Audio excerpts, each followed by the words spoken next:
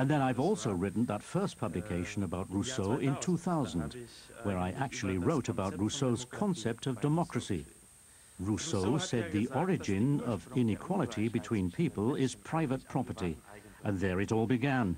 It starts with somebody building a fence around his land and saying, this belongs to me. The bad thing, Rousseau said, isn't that he did this, but that the others believed him. Today, the same can be said about genetic engineering. We've got a sort of new feudalism. Nature's resources are being privatized, and the others, who also own these natural resources, pay only to be able to use parts of these resources. And a part of that is knowledge of what's been produced before and getting newly patented. Teile von dieser Ressourcen wieder nutzen können. Und Teil davon ist sogar Wissen, was vorher schon produziert war und jetzt wieder patentiert. Even nature is getting patented. So in these neo-feudalist times we live in, it is so obvious to me that we're going back to times when a king said, this river is mine, or this land is mine, and farmers have to pay in order to use it. Back then they had religion to authorize and justify that. Strangely enough, today it's the scientists. Heute merkwürdigerweise machen die Wissenschaftler das.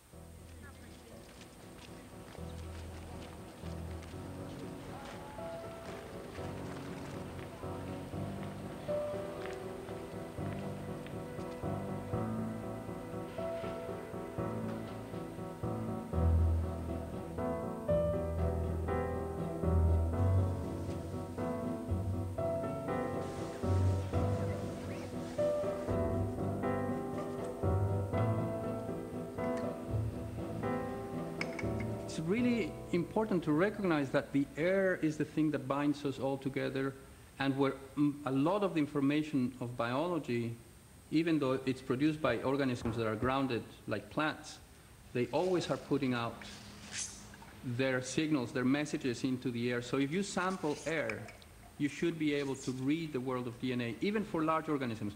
Our own bodies, we are surrounded. Right now, I'm surrounded by a cloud of my own cells that are continuously coming off from my surface. And I should be able to pick those up from the air and detect that I am here, or that you are here, or that you were here. And the aim of that research is to give people the capacity to see the DNA in the world around them that they cannot see. And this includes, very importantly, transgenic DNA. 1.3 miles per hour, 1.5,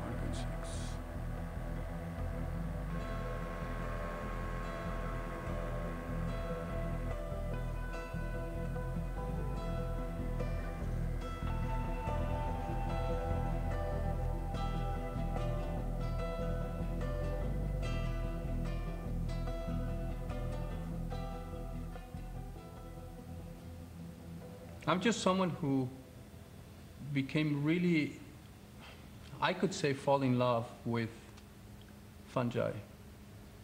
Whenever I, when the first time I heard about fungi, I just thought, what an amazing thing. This thing that is visible, you know, the mushroom is visible, and yet, as a, as a child, I would just go and dig, try and find the root of this thing, and of course you don't find anything because it becomes a microbe. So this really is a, an incredible window into the world of the invisible. Um, insects are also like that. You know, you see them and then you don't see them because they're too small. And what happened there, I don't know, until you start finding out. And um, so that's really what drives me, I think, and has driven my whole career. So I did my PhD in Wales, studying fungi, then I came to upstate New York, study fungi, always looking for the invisible part of it. So I was about to go to the tropics. I was going to go to Panama when I got a phone call from Switzerland saying, we've been watching what you're doing and we find it very interesting and we wonder if you would like to come and do it here. And uh, what do you say to that? I said, well, I don't know who you are. I don't know. It turns out it was Novartis, and it was the research part of Novartis, and they wanted, to, they wanted me to go.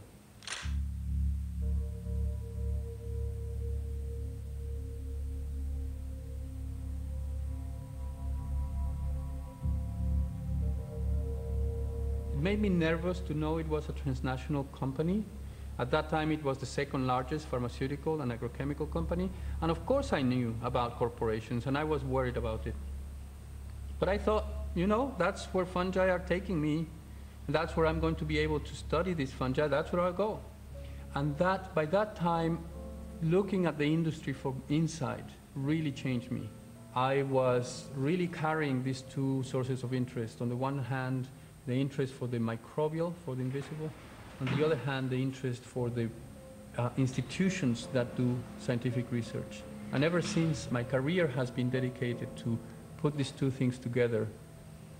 I really think that everything I do in science has to have consequence for politics, and that politics are influencing dramatically what I am doing as well as other people are doing in science.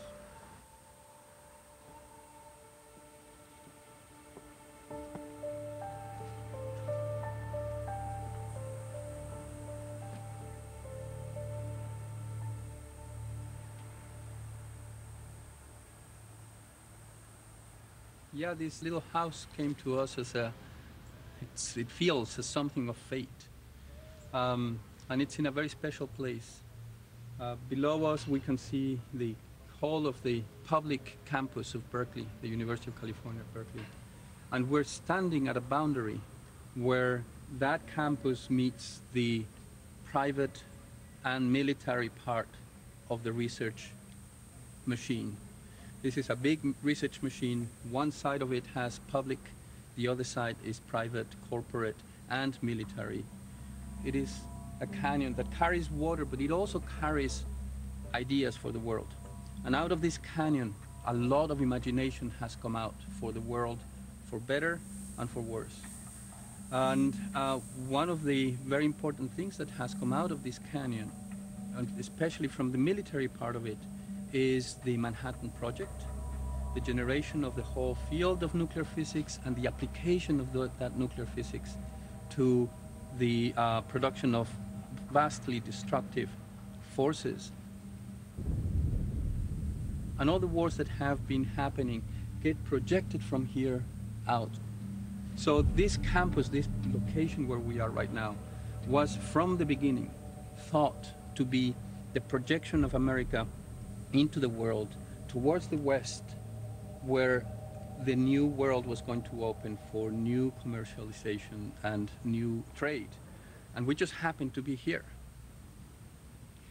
The generation of knowledge that comes out of this place is very important for the world, not only because of technology, but also because of how we understand ourselves in our role in the world, in our role with nature. So that enclosing of the knowledge that used to be public and becomes private or becomes corporate or becomes militarized secret, that enclosure of knowledge is something that I consider to be very damaging for the movement of science and the movement of knowledge. So it is a very strong battle that is happening here and in other places in the world to try and protect that diversity of knowledge, that diversity of culture.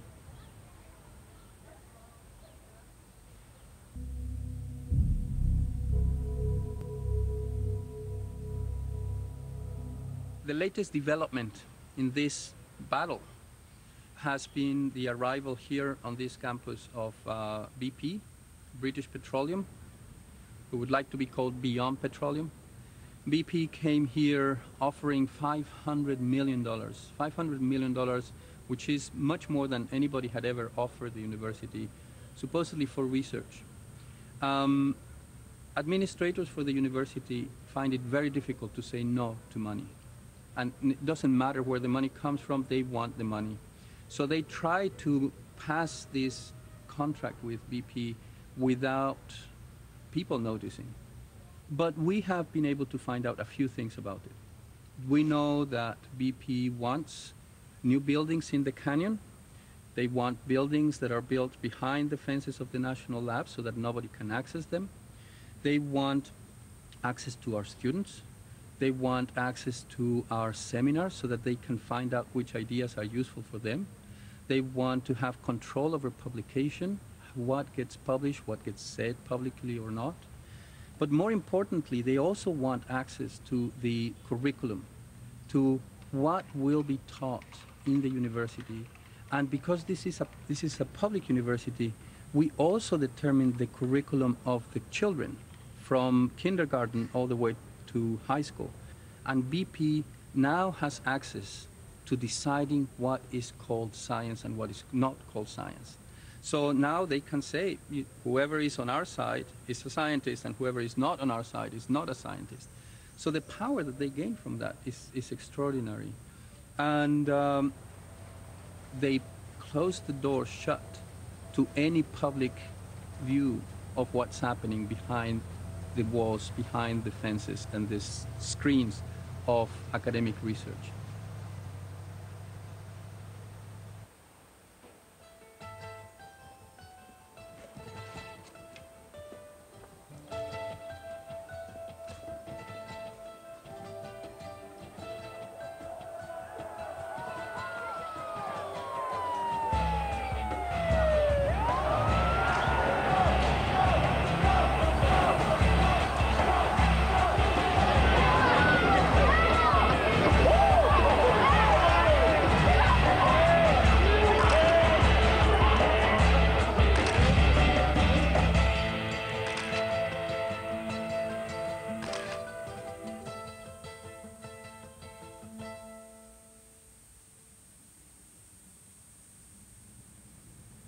Yeah, this is the latest place where resistance has been expressed in a real way. Um, it's just very upsetting to see. I'm sorry. I hadn't been since they since they took the tree seeders out. I, I just couldn't face coming here and seeing. Um, this area was covered in oaks old oaks. Uh, when the university decided to cut these trees down to build more buildings in, uh, in association with BP, uh, students went up on the trees and they stayed there for two years. This used to be three layers of fencing when the, when the students were up on the trees, as if they were extremely dangerous animals. We house hyenas that are very dangerous up in the canyon. There's a special cage with hyenas they have only two fences. And to cage students protesting, we had to put three with barbed wire on top, making sure that nobody would go in.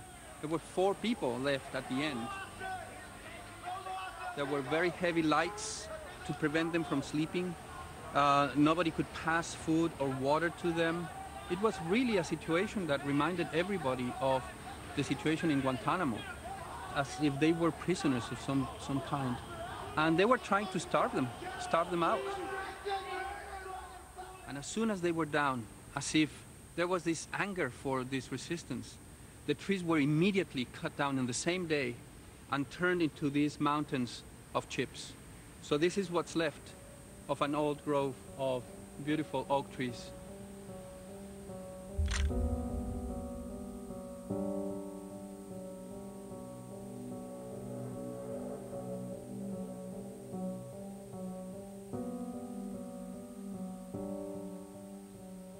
Unfortunately, we are in a minority, people who oppose it. And I have been very involved in trying to oppose this as well as other advances of this corporatized kind of science, this privatized kind of science, because I believe that the main problem is that people don't realize what's happening. And by the time they will wake up, it will be too late. The possibility of having a public university doing public research and developing public understanding of humanity is going to be gone.